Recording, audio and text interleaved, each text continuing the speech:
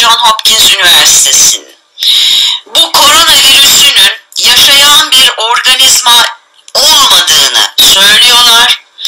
Bu bir e, yağ koruyucu yağ tabakasıyla kaplı bir protein molekülüymüş. E, burundan, ciltten veya yüzün herhangi bir e, açık yerinden e, takdirde genetik kodunu değiştiren yağ kaplı, koruyucu yağ tabakasıyla kaplı bir protein molekülüymüş. Burun mukozasından ağız yoluyla veya el yoluyla, cilt yoluyla emildiğinde de bu e, protein e, molekülleri saldırgan hale gelip çoğalmaya başlıyorlarmış.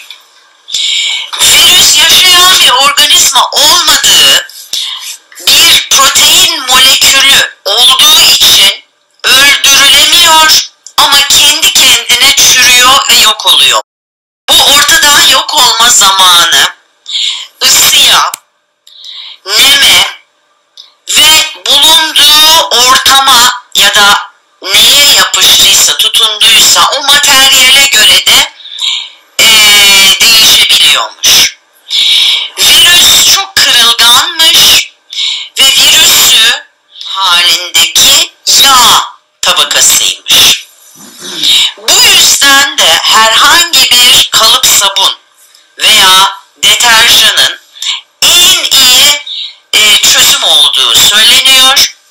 Hopkins Üniversitesi tarafından. Sabunun veya deterjanın en iyi tedavi yöntemi olduğunu söylüyor. Çünkü köpük 20 saniye en az veya daha fazla ellerinizi yıkayın, köpürtün demelerinin sebebi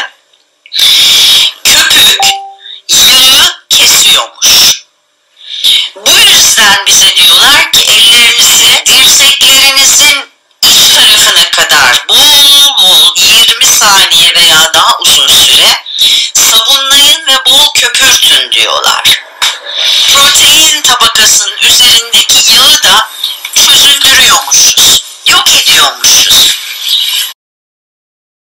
Hepimiz ısının yağı erittiğini biliyoruz. Bu yüzden de 25 derece üzerinde, 25 derece santigrat üzerindeki ısıdaki suyla ellerimizi yıkamamız, giysilerimizi 30 derece üzerinde yıkamamız ve her şeyi de en az 25 derecelik ısıdaki suyla yıkamamızı öneriyorlar. Ayrıca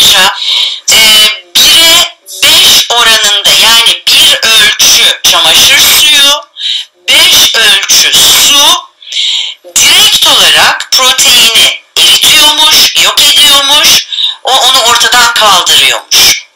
Bu korumayı çok daha uzattığını söylüyor Hopkins Üniversitesi. E, herhangi bir antibiyotik asla işe yaramaz. Virüs yaşayan bir organizma değildir, bir bakteri gibi. Giysileri, çarşafları veya bezleri temizlik sırasında kullandığımız sakın silkelemeyin diyor. 3 saat giyside, kumaşta ve kaygan yüzeyde kalıyormuş. Bakırda 4 saat yaşıyormuş. Tahtada 4 saat yaşıyormuş. Ee, mantar panolarda 24 saate kadar yaşıyormuş. Metalde 42 saat yaşıyormuş. Plastikte ise 72 saat yaşıyormuş. Soluduğumuz havada 3 saate kadar asılı kalıyormuş. O yüzden bu kadar çok yayılıyor. Ee, virüs molekülleri ee, soğukta, klimalı evlerde, arabaların klimalarında asılı olarak kalıyor ve yaşamaya devam ediyormuş. Aynı zamanda neme e, ve özellikle karanlığa ihtiyaç duyuyorlarmış. Yarasa gibi. Bu yüzden evinizin havasının kuru, ılık ve özellikle e, aydınlık olması gerekiyormuş. Bu durumda e, daha kısa sürede yok oluyormuş. E, herhangi bir ultraviyole ışığı yaşı- taşıyan nesne e, bu virüs proteini yok ediyormuş.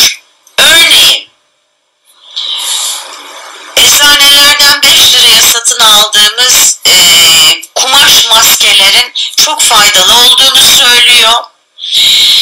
E, bu maskeleri tekrar kullanabil, dezenfekte edip tekrar kullanabileceğimizi söylüyor.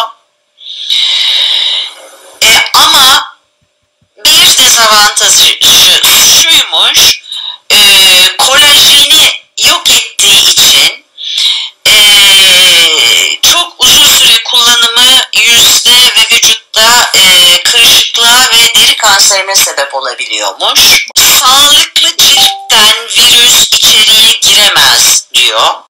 Sirkenin kesinlikle işe yaramadığını söylüyor.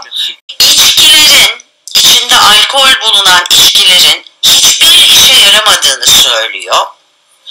En güçlü, en sert vodkanın bile yüzde 40 alkol içerdiğini, eee, bu yüzden alkollü içeceğin hiçbir şekilde işe yaramadığını söylüyor. Eee, bu ağız kokusunu gidermek ve ağız e, hijyenini sağlamak için kullandığımız listerinin yüzde 65 alkol içerdiği için eee, çok faydalı olduğunu söylüyor. Bulunduğunuz ortam ne kadar kalabalıksa, ne kadar çok insan varsa, kadar bu ortamı seviyor diyor. Yiyeceklere, kapı kilitlerine, kapı kollarına, elektrik düğmelerine, uzaktan kumandaya, cep telefonlarına, saatlerinize, bilgisayarlarınıza, e, masalarınıza, televizyona vesaireye dokunmadan önce ve dokunduktan sonra her seferinde ellerimizi yıkamamız gerektiğini söylüyor. Banyoyu kullanırken de aynı şey geçerli. Ellerimizi bu kadar çok sık yıkadığımız için e, sık sık nemlendirmemiz gerektiğini söylüyor. Bol bol el kremi kullanın diyor. E, çünkü çok sık yıkanan ellerde çatlaklar oluşacağı için bu moleküller e, bu incecik çatlaklardan bile içimize girebilir temas sırasında diyor. Dolayısıyla sık sık el nemlendiricisi veya el kremi kullanın diyor. Kullandığınız nemlendirici ne kadar yoğun olursa o kadar iyidir diyor. Tırnaklarımızı mutlaka kısa kesmemiz gerektiğini söylüyor. Çünkü kısa tırnakta virüs çok fazla barınamaz diyor.